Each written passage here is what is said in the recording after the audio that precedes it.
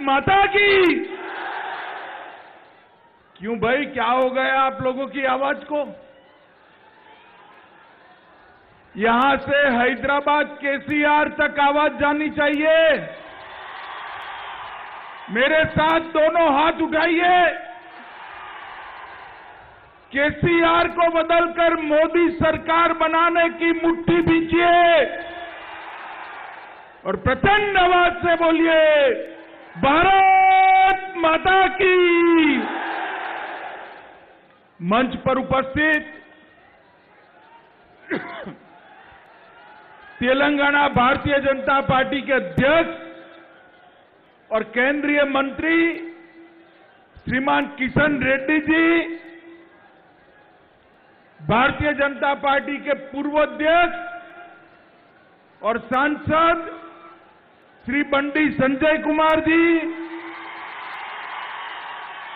Bharatiya Janata party के वरिष्ठ नेता और प्रबंधन समिति के अध्यक्ष श्री इटेला राजेंद्र जी। हमारे महासचिव और यहाँ के प्रभारी श्रीमान तरुण चूक जी, यहाँ के सांसद श्री स्वयं बापूराव जी श्री हंसराज आहिर जी डॉक्टर जी वें, विवेक वेंकट स्वामी जी। वेंकट स्वामी खड़े हो जाओ। कहाँ हो भाई? ताली बजाओ वेंकट स्वामी के लिए। श्री जी पेमेंदर जी श्री एंडलार लक्ष्मी नारायण जी श्री रमेश राठौर जी श्री डी रविंद्र नायक जी और आज ऐदिलाबाद की पवित्र भूमि पर आए हुए प्यारे भाइयों, बहनों, माताओं और मेरे जिगर के टुकड़े जैसे युवा मित्रों, आप सभी को नमस्कार। इस भूमि पर सबसे पहले बासर में स्थित सरस्वती माँ, नागोबा के भगवान शेषनाथ और जयनाथ में स्थित लक्ष्मी नारायण के मंदिर को प्रणाम कर कर मेरी बात की शुरुआत करना चाहता हूँ। मैं जब यहाँ आया हूँ तब हम बहुत छोटे थे गुजरात में। तब कुमाराम भीम का नाम सुनकर रोंगटे खड़े हो जाते थे।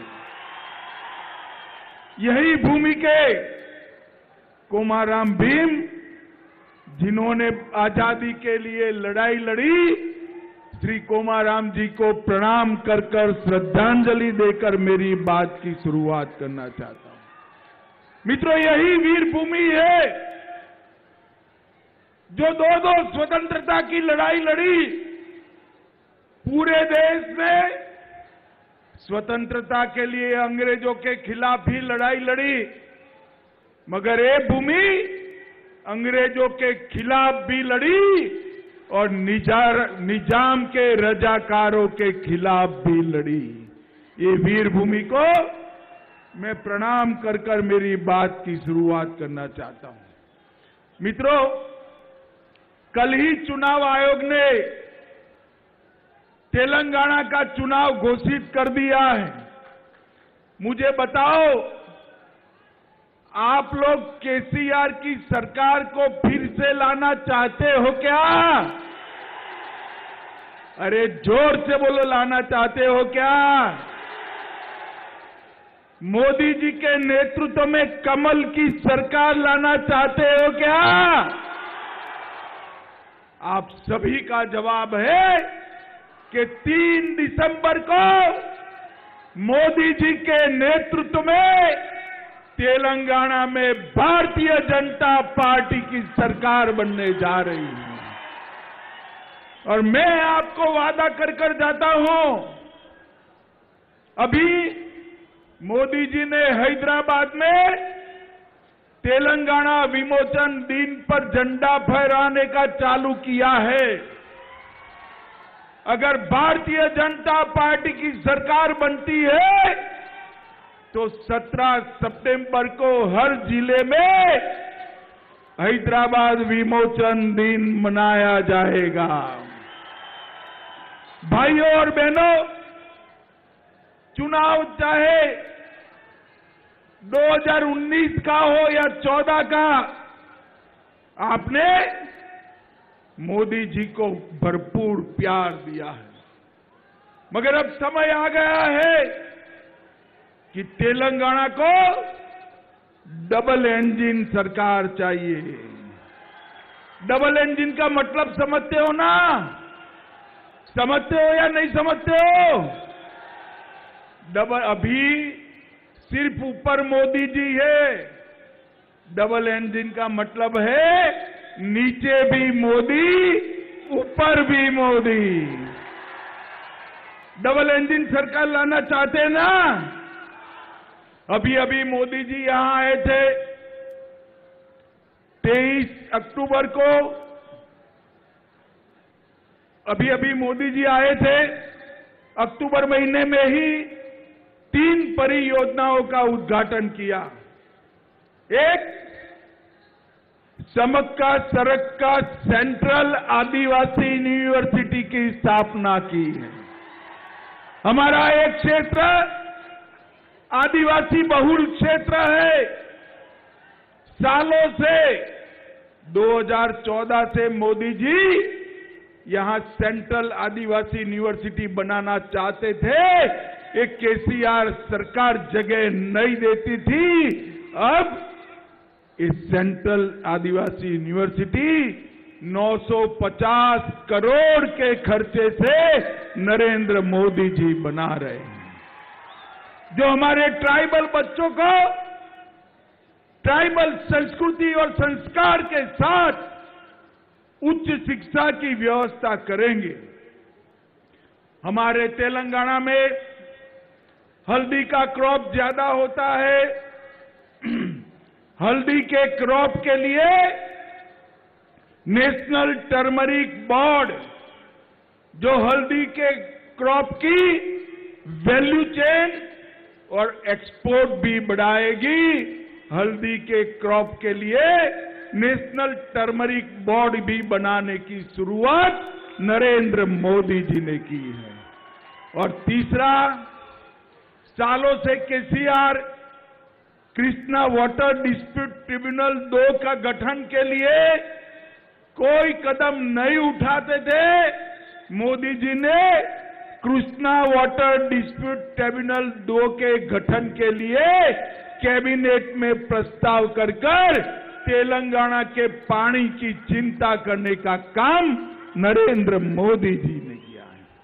और यहाँ पर इतने सारे लोग हैं माताएँ बहनें भी है। अभी अभी मोदी जी ने विधानसभा और लोकसभा में 33 प्रतिशत 33 प्रतिशत महिला आरक्षण कर कर हर माता बहनों का सम्मान करने का काम किया है।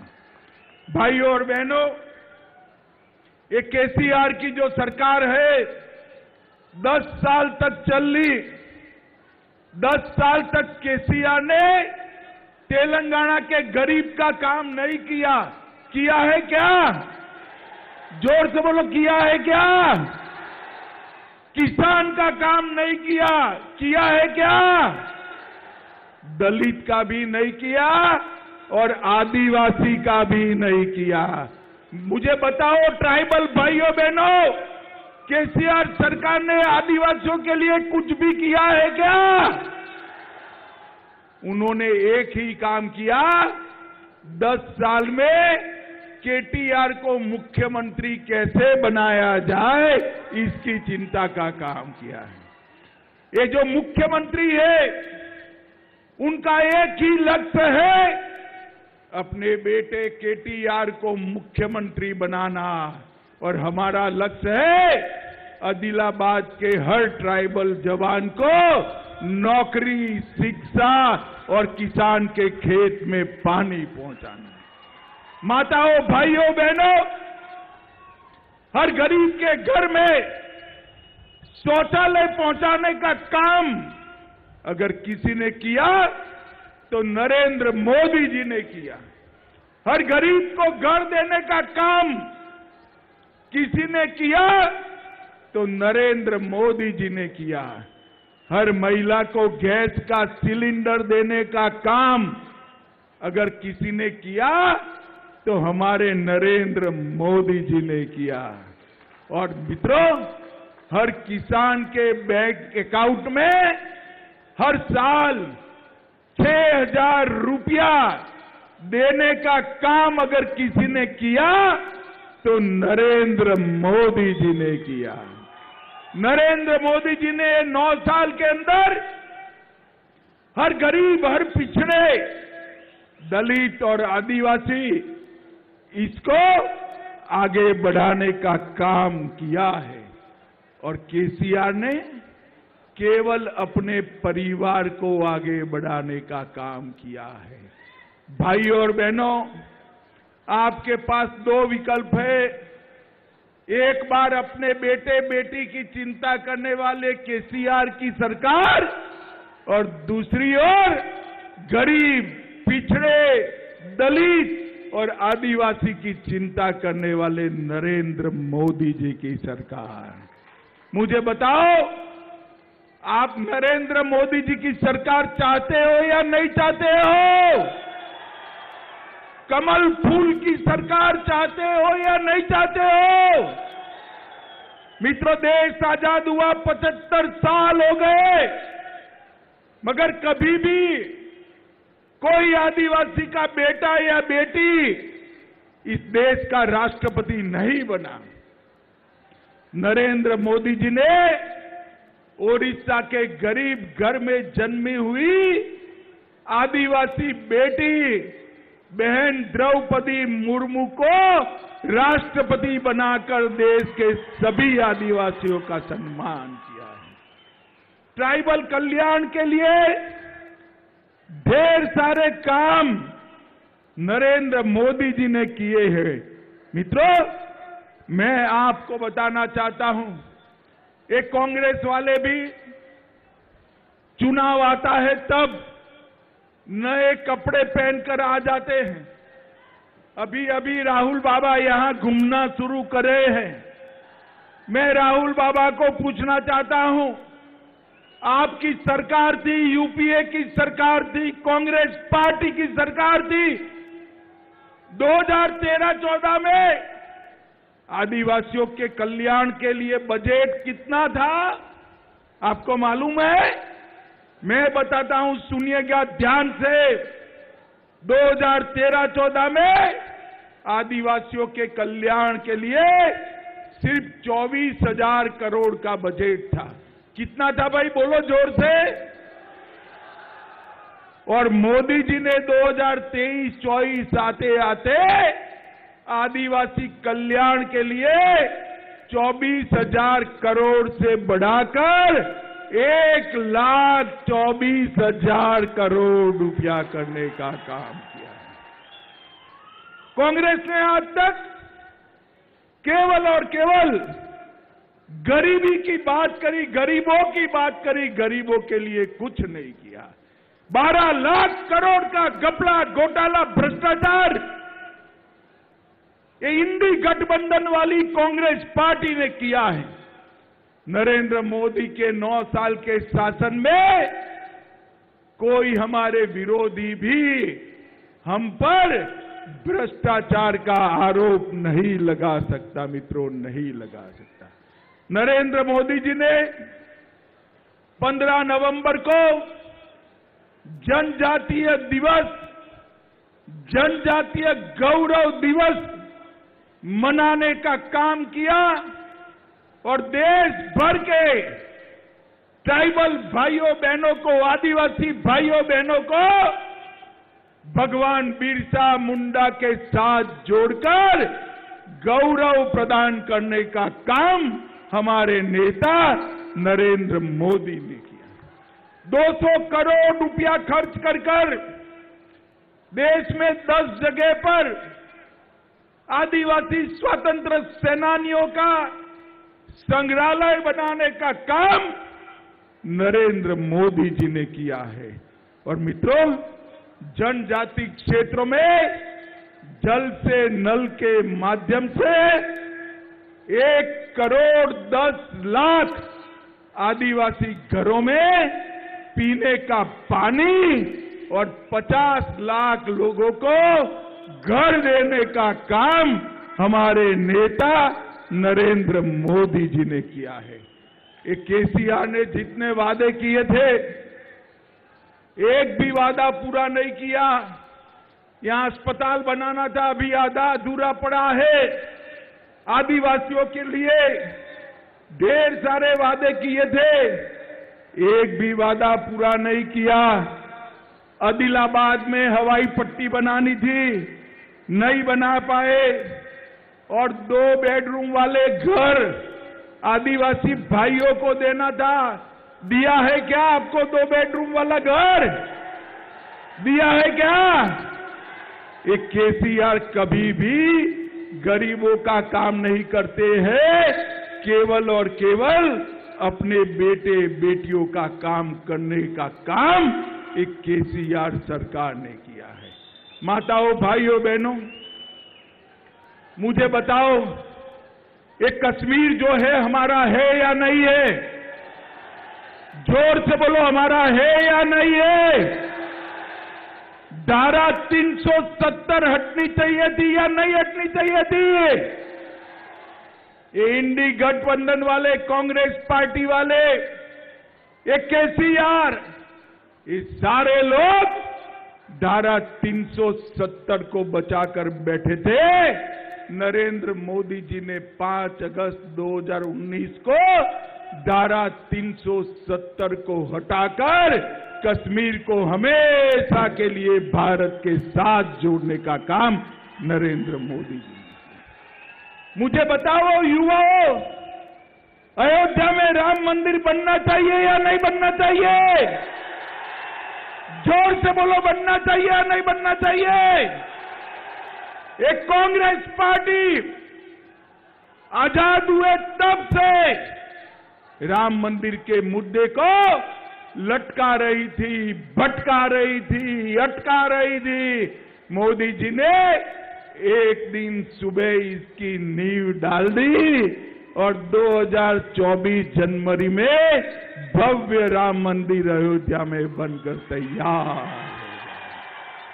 माताओं, भाइयों, बहनों मुझे बताओ देश की सीमाओं की सुरक्षा करनी चाहिए या नहीं करनी चाहिए? ज़ोर से बोलिए, करनी चाहिए या नहीं करनी चाहिए? कांग्रेस की सरकार थी। हर रोज पाकिस्तान से घुसे हुए आतंकवादी हमला कर कर भाग जाते थे। कुछ नहीं होता था। नरेंद्र मोदी सरकार आई इन्होंने उरी और पुलवामा में हमला किया। मोदी जी ने एयर स्ट्राइक और सर्जिकल स्ट्राइक कर कर पाकिस्तान के घर में घुसकर आतंकवादियों का सफाया करने का काम। एक कांग्रेस पार्टी, एक केसीआर, देश की रक्षा नहीं कर सकते। तेलंगाना को आज के जमाने के रजाकारों से बचा नहीं सकते। तेलंगाना को आज के जमानों के रजाकार से अगर कोई बचा सकता है तो केवल और केवल भारतीय जनता पार्टी बचा सकती है। मित्रों, एक केसीआर तेलंगाना में हमेशा एक खोखला प्रचार करते हैं। मैंने केसीआर को सुना है कि मैंने तेलंगाना को नंबर वन बना दिया। हाँ भैया, सच बात है। केसीआर बाबू, आपने तेलंगाना को नंबर वन बना दिया। मगर किस चीज़ में? रोजगारी में। ना जी, घर में पानी पहुँचाने में। ना जी, नौकरियाँ देने में। ना जी किसानों की आत्महत्या के बारे में तेलंगाना आज देश में नंबर वन बन चुका है, मित्रों, नंबर वन बन चुका है। बच्चों और महिलाओं के खिलाफ अपराध के मामले में तेलंगाना नंबर वन बोल गया है और महाघोटाले करने के बारे में भी, भ्रष्टाचार करने के बारे में भी तेलंगाना नंबर वन बन गया है। और मित्रों, केसीआर की चुनाव चिन्ह क्या है भाई बताओ तो? क्या है? उनका चुनाव चिन्ह जो है ना, वो गाड़ी है। एम्बेसडर गाड़ी है। मगर एम्बेसडर गाड़ी कौन चलाता है? कौन चलाता है? ज़ोर से बोलो, कौन चलाता है? उनकी गाड़ी का स्टीयरिंग ओवैसी के पास है, उनके पास नहीं है। आप ऐसा चाहते हो कि मजलिस के इशारे पर तेलंगाना चले? जरा ज़ोर से बोलो, चाहते हो क्या? ये मजलिस के इशारे पर चलने वाली सरकार है, आदिलाबाद वालों। इस चुनाव में मजलिस के इशारे पर चलने वाली इस सरकार को उखाड़ कर फेंक दीजिए। और नरेंद्र मोदी जी के नेतृत्व में कमल फूल की सरकार लाइए। कमल फूल की सरकार हमारे तेलंगाना को समृद्ध कर देगी और भ्रष्टाचार से मुक्त कर देगी। मित्रों, कोई भी योजना हो, भ्रष्टाचार के बगैर यहाँ समाप्ति ही नहीं होती। है चाहे दलित हो, किसान हो, युवा हो, आदिवासी हो, सबको जो वादे किए थे, वो वादे पूरे नहीं हुए। दलित भाइयों को वादा वादा किया था, तीन एकड़ भूमि देंगे। मैं केसीआर बाबू को पूछना चाहता हूँ। चंद्रशेखर राव जी तीन एकड़ भूमि कहाँ गई? दलित बंधु, हर परिवार को दस लाख रुपया देना था। गिने चुने अपनी कैडर के लोगों को देकर बाकी के दलितों को नहीं दिया। मित्रों, जो सरकार अपने बेटों के कल्याण में पड़ी हो, वो सरकार तेलंगाना का कल्याण नहीं कर सकती। नरेंद्र मोदी सरकार ने तेलंगाना में 40 लाख किसानों को किसान सम्मान निधि दी चौपन लाख लोगों को घर में पीने का पानी पहुँचाया है। तैतीस लाख माताओं को घर में शौचालय बनाकर दिया है। एक करोड़ नब्बे लाख लोगों को हर महीने पाँच किलो अनाज free of cost Narendra Modi ji भेज रहे हैं। 11 लाख से ज़्यादा बहनों को उज्ज्वला योजना के सिलेंडर दिए हैं। ढाई लाख लोगों को घर देने का काम किया है। और मैं आपको पूछने आया हूँ, सभी को कोरोना का दोनों टीका लगा था या नहीं लगा था? जिसको लगा हो जरा हाथ ऊपर करो तो। सबको लगा है ना? किसी को भी 25 पैसा भी देना पड़ा है क्या? मोदी जी ने 130 करोड़ की जनता को कोरोना का टीका लगाकर पूरे तेलंगाना को कोरोना से सुरक्षित करने का काम नरेंद्र मोदी जी ने किया है मित्रों, नरेंद्र मोदी जी माताओं, भाइयों, बहनों अभी अभी जी ट्वेंटी हुआ। जी ट्वेंटी में दुनिया भर के नेताओं ने भारत के नेतृत्व की मोदी जी की प्रशंसा की है। और जब हमारा चंद्रयान हमारा चंद्रयान जब चाँद पर पहुँच गया, देश भर के लोगों के मन में भारत के विजय का भाव खड़ा करने का काम नरेंद्र मोदी जी ने किया है। अंत में मैं इतना ही कहना चाहता हूँ, इस सरकार का स्टीयरिंग मजलिस के हाथ में ओवैसी के हाथ में है। एक ऐसी सरकार बनाइए जो तेलंगाना की जनता की सरकार हो। एक ऐसी सरकार बनाइए जो अपने बेटों के लिए काम न करे, बेटी के लिए काम न करे। आदिलाबाद के आदिवासी भाइयों, बहनों के लिए काम करे। और ऐसी सरकार केवल और केवल नरेंद्र मोदी जी और भारतीय जनता पार्टी दे सकते हैं, मित्रों। आप मुझे बताओ आने वाले चुनाव में भारतीय जनता पार्टी की सरकार बनाएँगे क्या? दोनों हाथ उठाकर ज़ोर से बोलिए, बनाएँगे क्या? कमल के निशान पर मोहर लगाएँगे क्या? केसीआर की सरकार को उखाड़ कर फेंक देंगे क्या? नरेंद्र मोदी के नेतृत्व में तेलंगाना में सरकार बनाएँगे क्या? 24 में फिर से मोदी जी को प्रधानमंत्री बनाएँगे क्या? तो मेरे साथ दोनों हाथ उठाइए।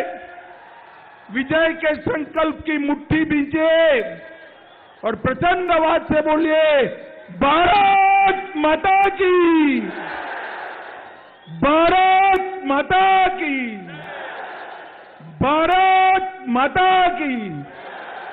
वंदे वंदे वंदे।